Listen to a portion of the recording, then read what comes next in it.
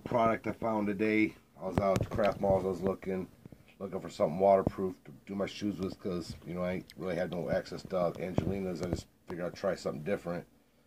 You know, see how dingy these shoes are. I already did some other shoes, uh, but I, I figured I'd just try to revive these shoes a little bit for the wife. So it's looking nasty. You see how they look. Just I already wiped them down to get you know the loose dirt off of them.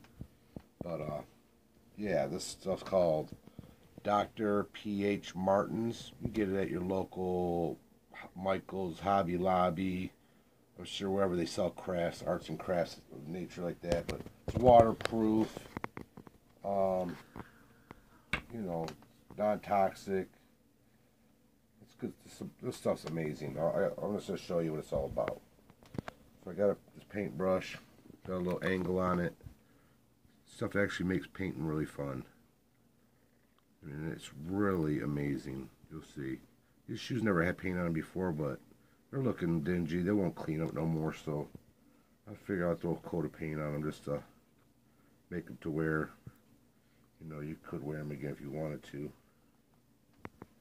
So, just going to go through. I'll show you. This stretches up pretty good, too. Pretty amazing.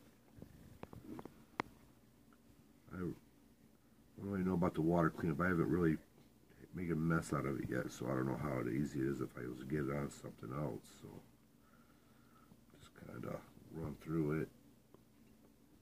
I just can use a water cap bottle to put the stuff in. But this stuff makes painting like really fun. It's like I want to paint all my shoes now, even though they don't need it. Stuff's that amazing to wear. Just kind of run through you want to revive your old Jordans or I did some Air Maxes last night. Really turned out really good. Just kind of run through it like so. Just give you a quick rundown on good looks after one coat. So you put like put like two or three coats on it. I got a little bit on here. I'm gonna take this and just kind of wipe it off where I've got a little bit on the black, which ain't a big deal. I can go back through and touch those up, but she cleans off pretty good if you catch it pretty fast. But after one coat, you see major difference. Like I said, this stuff's waterproof. It's called Indian Ink Bombay White Dr. P.H. Martins.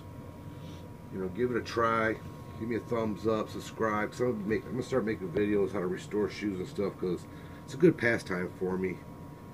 So that's that's the deal, man.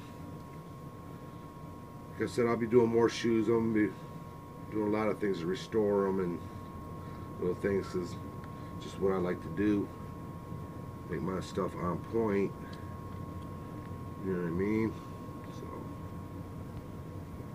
yeah, I just give you one more coat on it and I'm not going to bore you with everything but I just wanted to give you a quick rundown how this is going to look after basically like a second coat. I'm assuming just after each coat just, it just gets better and better and better and it's more solid. It's not like normal acrylic paint where you know it's to chip and fall off and wash off. And this stuff's waterproof so this is legit. You can walk around the rain with this stuff on your shoes and it'll be fine so you have to walk like it's probably like two coats, but I said I ain't no professional, but it definitely looks a hell of a lot better than how it used to look. You know what I mean? After one coat. So yeah, I'm not I'm not gonna shoot you know do the whole shoe right now, but just want to give you a quick rundown. One more time is Dr. P.H. Martin's Indian Ink Bombay White.